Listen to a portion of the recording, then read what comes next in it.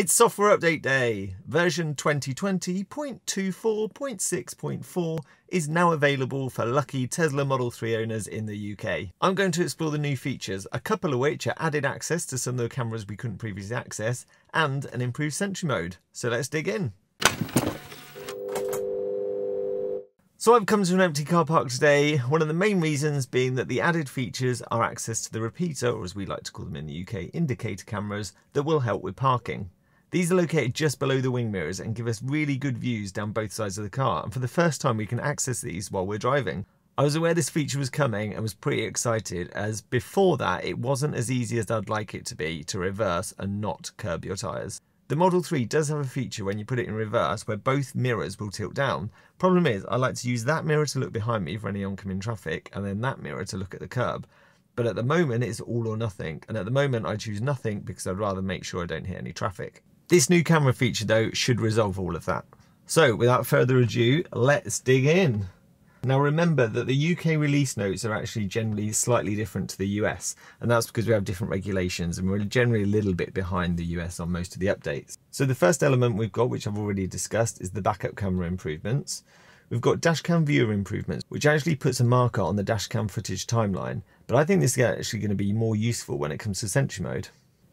You've got improvements to the TuneIn app with the usability and discovery functions been improved. And then this one confuses me. Walkaway door lock improvements. You now have the option to disable walkaway door lock when your vehicle is parked at home. Note that's you have the option to not lock your car when you get home. I mean, I always lock my car when I'm parked on my drive. Even when it's in my garage, it's locked.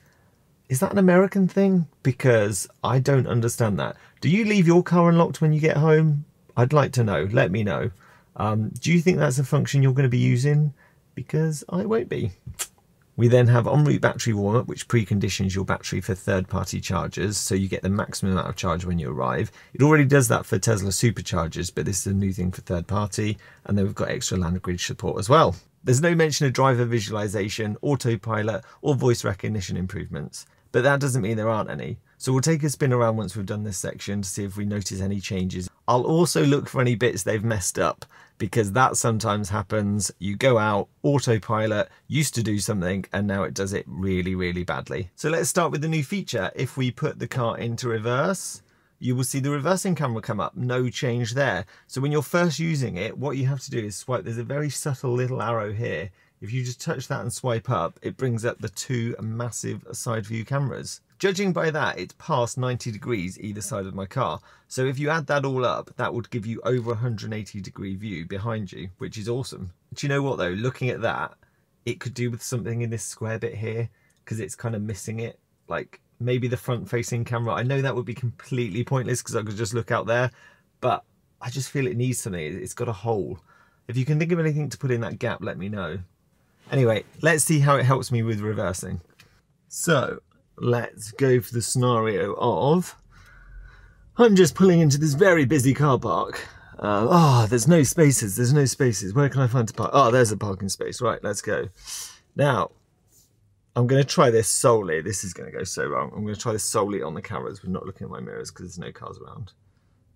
I've got this so wrong already. So I'm using the main reversing camera at the moment. Uh, not bad, not bad. Got to level up. And actually, it's, it's useful. I'm using those um, side cameras now just to try and weigh up where I am in the lines, which is quite good, and level my car up. Do you know what? That wasn't bad. I'll take that. That looked like it was going to be absolutely horrendous when I started. I don't think I would have been that confident to use those solely had there been cars either side of me. I think I would have wanted to use my mirrors there. But for a completely, if you're ever park in a completely empty car park, woo, lucky you. Um, but also that that helps you get between the lines because I find sometimes it's difficult to park if you've not got cars as your judgment. But I think for safety, I would have felt a lot happier using my mirrors instead. I think where this might be more useful is if you're going forwards because sometimes you can't tell where the lines are, especially if you've not got the cars for guidance. So let's try a forward park now and see how that gets on. So for it to be useful for forward direction, what you need to do is put the camera here and that's quite handy. It stays up there. So if you did ever want to get rid of that view while you're driving, you can just press the little arrow button and it'll slide up and down. So you can actually have this whilst you're driving along, which is pretty decent. So let's try a forward park now, because sometimes where I struggle when I'm going forwards is just getting it between the lines. So it's very handy the car park's empty today. So that's pretty lined up, but now I've lost complete vision of the lines. So I might start looking here. Yep, there you go, you can see it. And again, I'm not too sure at what point I should be stopping. So I'll wait until the line comes into view. Perfect. That's actually really helpful. I think I might use that more for front facing parking as opposed to rear face parking because I think I'll be using my mirrors in busy car parks for that. But yeah, that's good. That's handy. Okay, let's go and do the test I've been after, and that's the curb parking test. So we'll go out and um, just try parking parallel to a curb. Here we go, we've got a nice curve, got to do a bit of parallel parking here. So let's see how this function works here. It's on a slight bend as well, so that makes it slightly trickier. So I'm going to attempt it like I normally would and then just use the cameras to help me level up and judge how close I am to the curb. So at the moment I'd be paranoid I was going to scrape my back tyre there, but judging by that reversing camera, I've got a bit of space there. There we go. I reckon I'm very close to that curb there, which is awesome. That's what you want. That's going to be brilliant. That's that's always been in the past what I've been worried about, and this is why I wanted these cameras. Um, and yeah, looking in my mirror now, I can see that's a spot on parallel park. So that's good. Now I wonder what that would compare like to the auto park feature the car has. Should we give it a go? The residents going to wonder what the hell I am doing. So I've got the option to park. Let's press start now and let the car do all the work itself. Shoo. It's, it's pretty rapid, isn't it, at parking? This is the first time I've ever used this feature.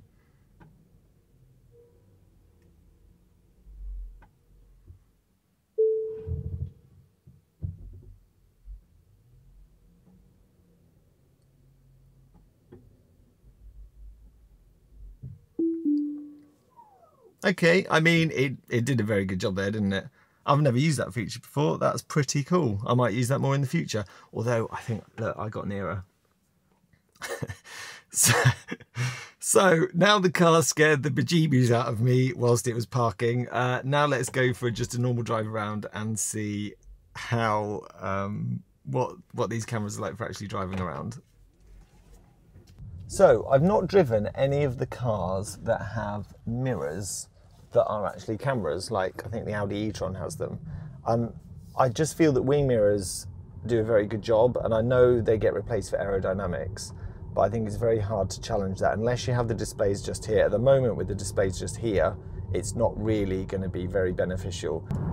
the only time I think it would be useful is if you kind of caught it out the corner of your eye, but the, the display's too small. I take it yeah, no. I, t- I was going to say, what would be useful is if you could choose to have that camera as your main display, because I don't really need to see backwards at the minute. Um, and that would be really useful for if you were parking and you wanted to see how close you were to the curb, to be able to choose that as your bigger um, camera to view on as you go through. I mean, what would be an ideal update here is you could either choose the camera that you were going to use on that display, so you could keep it out of your corner eye, or when you go to indicate like that, it automatically puts it as the bigger display. So at the corner of your eye, you might be able to see something in your blind spot. But so far, no significant changes to the autopilot, to the visualizations that are coming up. I don't know whether the, the traffic markings are a little bit more decisive. See that arrow come up there? Um, sometimes it's been a little indecisive in the past over whether it's a forward arrow, a left arrow, a forward and a left arrow. Here we go, we've got one coming up here, and that's like quite poor vision between the car, but it managed to pick it up and it kind of made that decision, here we go, quite early on. Sometimes it flicks between the two and it, it doesn't ever make its mind up.